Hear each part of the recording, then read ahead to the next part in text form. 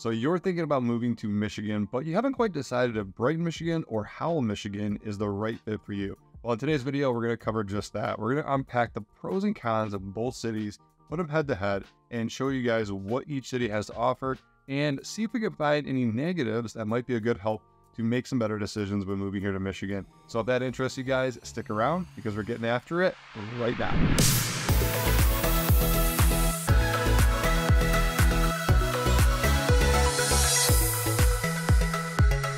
Hey, for me here for the first time, my name is Eric Meldrum. I make videos just like this about all things Michigan, talk about what it's like to live here, work here, play here, and yes, the sunshine and the snow and everything in between. I'm also a licensed real estate professional, and my team and I have helped hundreds of people just like you buy, sell, relocate, and invest here in Michigan and make better decisions when doing so. So if this information is helpful, go ahead and subscribe and tap that bell so you're first to learn about the current market and every time we put out a new video just like this. All right, so in today's video, we're gonna be taking a look at both Brighton, Michigan and Howell, Michigan. Both cities are here in Livingston County and they have a lot of commonalities, but there are some major differences that I think are really important to note when picking between Brighton and Howell and you're going to want to stick around to the end because these are really important. You know, somebody that's looking to move, you know, here to the area, we get a lot of people from Metro Detroit that are actually migrating west. They're sick of the the crammed, you know, cities over there, St. Shores, Warren, Ferndale, Royal Oak, Birmingham, and they want a little bit of space. Maybe they want a lake house, or maybe they want, you know, a little bit of acreage. And people are coming to, you know, Howell and Brighton for those particular lifestyles. So if that's what you're looking for, you know, when moving to Livingston County or Brighton or Howell, you know, those are not uncommon things to find here in the county. So I want to highlight some big differences and some commonalities ultimately giving you guys a little bit more information to go off of than just looking at the stats online. So one of the major questions I want to propose that you ask yourself is what is the reason you're moving to the area? You know, Brighton and Howell have a lot to offer. We're going to get into that in a little bit, but this is really going to help put some things in priority. You know, people move for certain reasons, whether it's a job relocation or pleasure or lifestyle, be close to work, all those things matter. You know, so when you're looking at Brighton or Howell, just ask yourself, what is the reason I'm moving here? Is it to be really close to an office? Is it to be close proximity to some of the major cities, maybe Ann Arbor, Lansing, Detroit, but you want to be a little bit further away, maybe get a little bit more land, you know, all the things that we're going to go into right now. I'm just kind of giving you a glimpse, but like that's a major question to be asking because, you know, there are some major differences in price, location, and just overall amenities of both cities. And these could have a major impact on your lifestyle.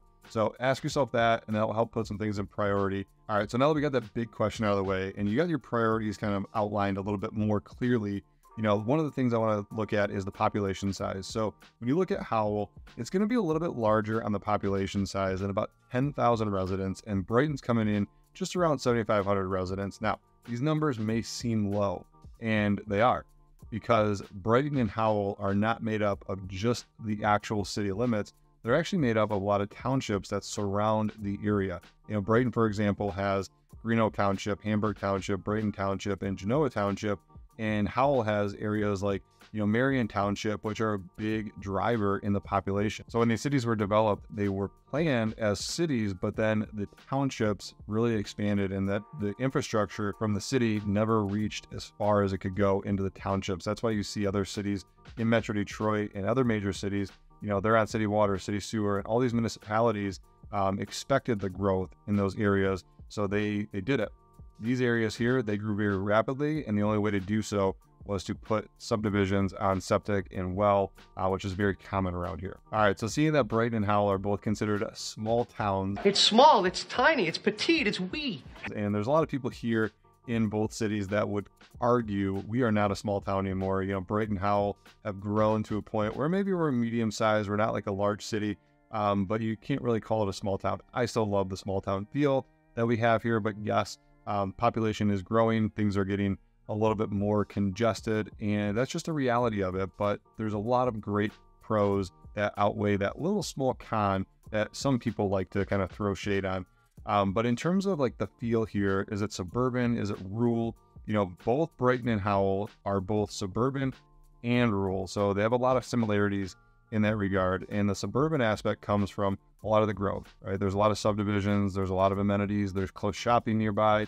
Um, you got all of your major grocery stores, you got all your major department stores within about 10 to 15 minutes um, you know, from driving both downtown and Howell. So it does have that suburban feel. Now, in a rural aspect, you're still close to everything, but there are a ton of properties and a ton of acreage here in Brighton and Howell that you can still go find one, two, three, four, five, 20 acres, and you could be setting yourself up for, you know, a nice little property that has privacy, that has maybe a, a fishing pond in it, or maybe a dirt bike track. I've seen some pretty cool properties, and if you want to see some of these cool properties, uh, just ask. I got some awesome pictures, you know, that I can share with you. Just drop a comment down below and be sure to share that.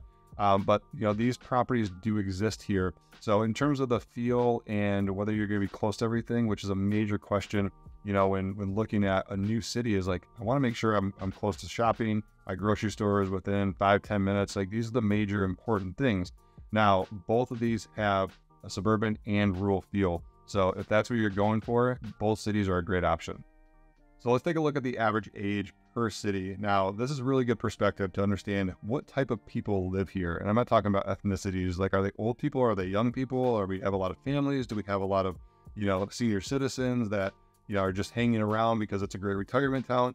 Well, that's great perspective to know if we're moving to each city. So average age in Brighton is around 44 years of age, and the average age in Howell is right around 38.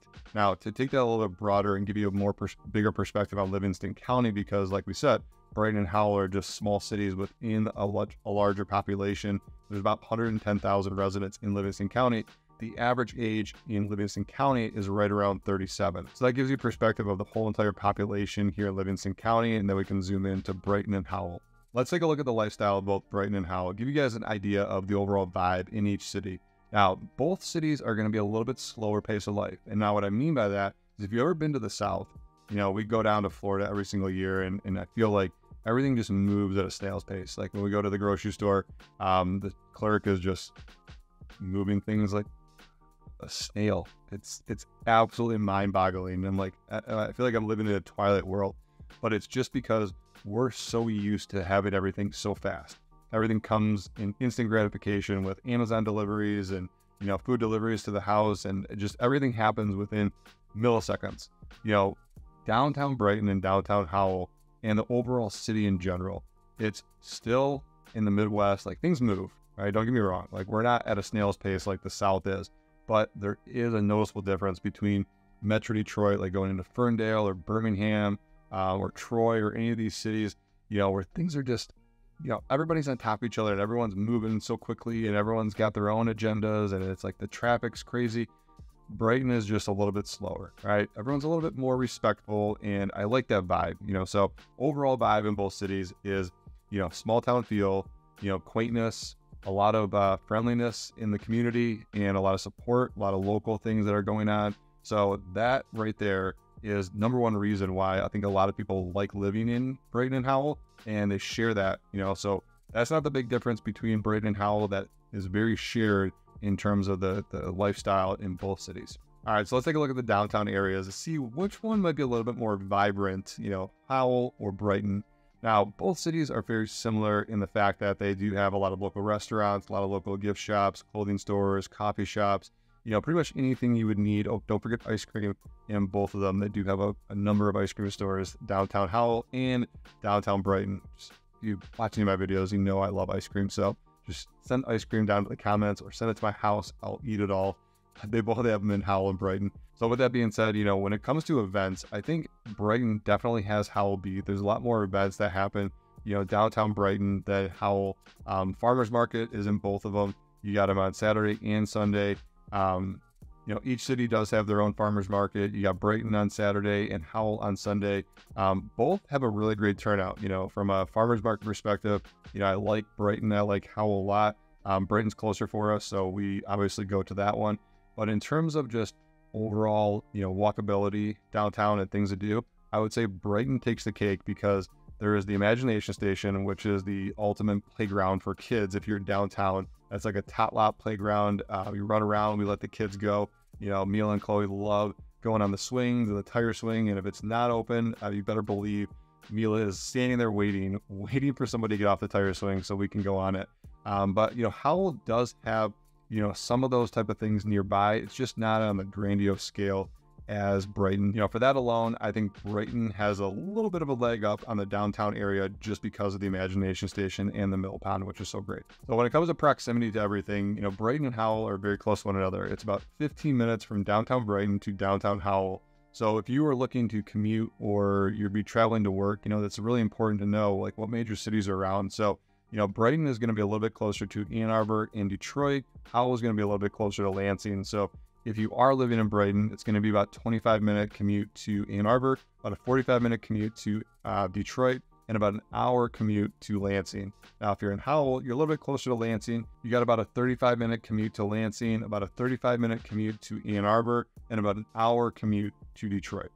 All right, so next let's talk about the cost of living in both cities. Now, this is where things start to separate a little bit.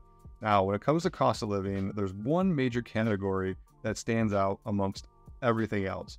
But in terms of what you're going to be paying for groceries, you know, gas, all of your utilities, um, you know, everyday life, relatively the same across the board for both Brighton and Howell. All right, so the category we're going to start seeing some major separation is in the cost of real estate for both of these cities. Now, Howell and Brighton have a lot of similarities, a lot of you know homes that are in the downtown area that are old historic homes.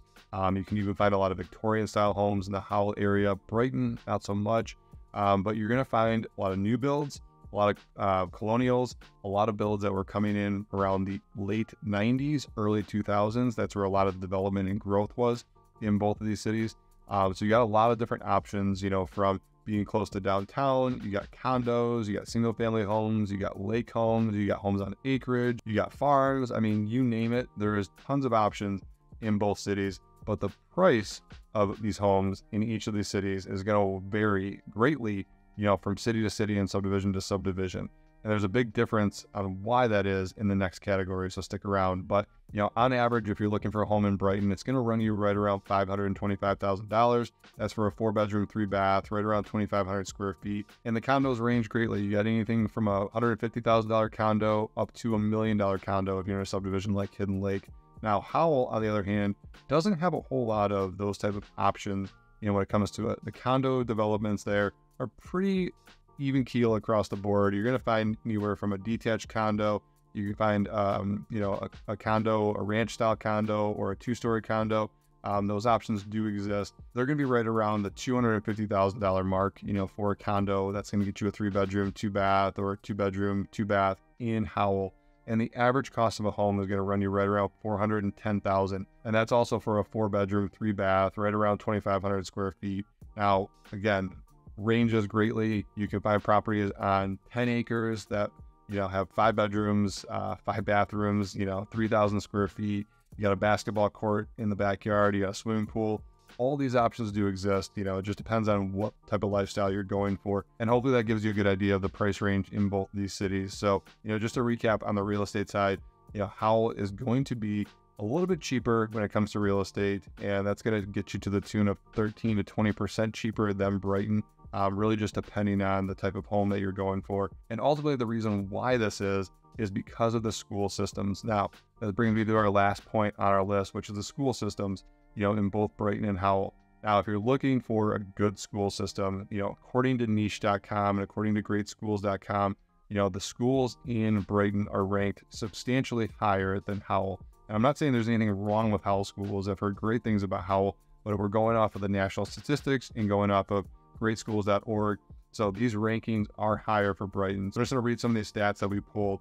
You know, now school rankings for Brighton, the elementary schools range anywhere from a 6 out of 10 to a 10 out of 10 for some of the elementary schools. Now the middle school got a 6 out of 10 here in Brighton, and the high school got an 8 out of 10, compared to Howell, which the elementary schools range from a 5 out of 10 to a 7 out of 10. And the middle school got a 6 out of 10, which is on par with Brighton. But the high school, this was the major difference. It got a 5 out of 10. So compared to Brighton, which got an 8 out of 10, Howell is three points below on the high school rating. So just something to consider, you know, when looking at school systems and looking at the overall, you know, location um, that goes into real estate values, you know, that goes into reselling your home. Is it more desirable for somebody moving to Howell to Brighton and vice versa? So all things to consider. And naturally, if we get asked the same question over and over again, we're going to make a video about it. So this is that video. Hopefully this helps shine some light on exactly what city might be a better lifestyle or better fit for what you're going for. You know, real estate in Howell can be a little bit cheaper, but also have to consider the schools. You know, the downtown areas are very similar. Proximity, you know, to things are, are kind of the same. But if you're on the Lansing side, you know, Howell and that side of the the city might be a little bit closer to commutes to Lansing. I know they got the GM facility over there, a lot more going on on that side. And then if you're looking to be, you know, in Brighton or you're working in Ann Arbor or working in Detroit or maybe in uh, in uh, Novi area, Farmington Hills for the automotive industry, you know, these areas tend to be a little bit more centrally located. Um, one of the things though I forgot, which Brighton is right on the 96 and 23 interchange. So if you're looking to get east, west, north, south, Brighton is that really central hub there that you can get to, you know, Ann Arbor, Detroit. You can head up to to Fenton or, or Flint, um, going north, or you can head over west to Lansing or Howell or Fowlerville, um, you know, from the interchange there. So that's a really good convenience. And bonus, because I know you guys love Costco, there is a Costco in Brighton. So maybe that just tilted the cap towards Brighton for you guys on making your decision whether it's Howell or Brighton but there is a Costco here in Brighton, and uh, that's a big bonus. So I know that's important to a lot of people when looking at shopping. So if you got any value out of this video, please smash that subscribe button, tap that little bell so you're the first to learn about the current market here in Michigan, and every time we put out a new video. And if you want more information just like this, you can go check out those other videos on our channel, and we'll catch you on the next one. Peace.